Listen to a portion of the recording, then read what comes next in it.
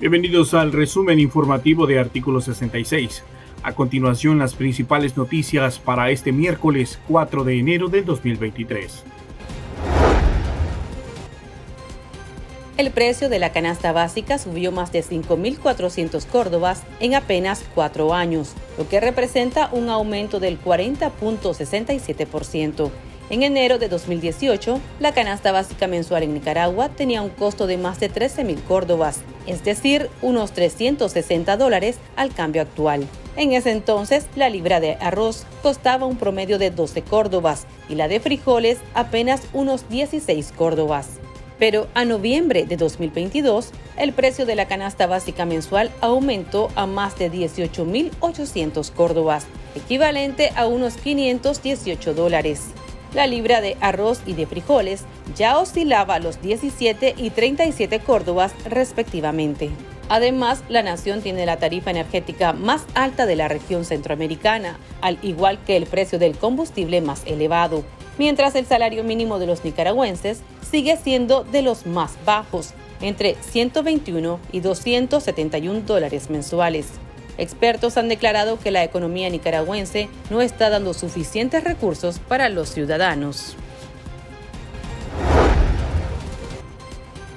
Después de 18 meses de total incomunicación, el preso político Félix Maradiaga pudo acceder a una videollamada con su hija Alejandra en el contexto de las visitas familiares que autorizó el régimen de Nicaragua a los opositores detenidos en las celdas de la Dirección de Auxilio Judicial El Chipote en víspera de las festividades de Año Nuevo.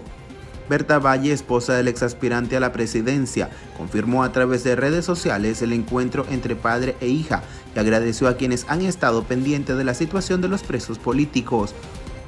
La también comunicadora señaló que Maradiaga se mostró sumamente emocionado al ver a su hija después de casi 600 días de incomunicación. Estaba fortalecido espiritualmente y confiado en que pronto se va a reunir con su familia.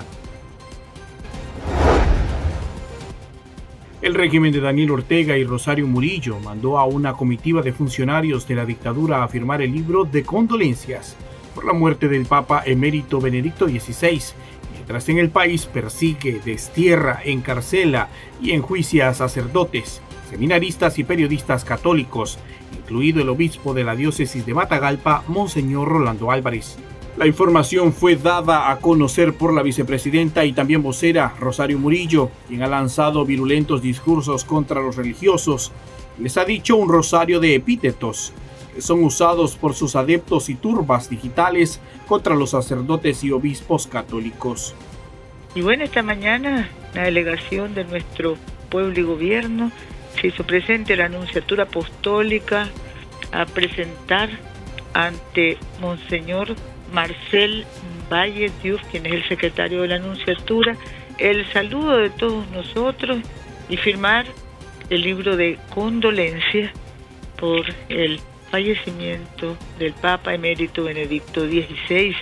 Estuvo la ministra de Educación, estuvo nuestro canciller, compañero Denis Moncada, la ministra Arlet, la ministra de la Familia Johanna, la ministra de Gobernación, compañera María Amalia Coronel, y el director del Instituto de Cultura, compañero Luis Morales Alonso, quienes se hicieron presentes para ratificar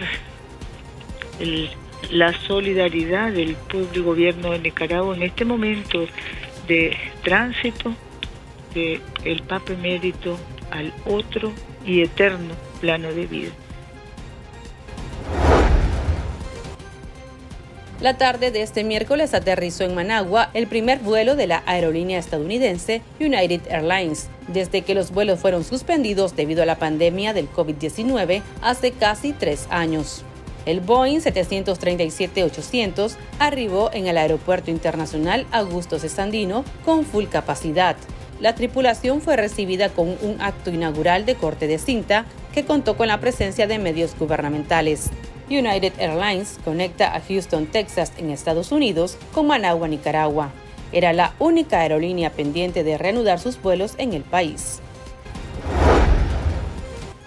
Recuerde que esta y otras noticias usted las puede leer en nuestra web www.articulo66.com.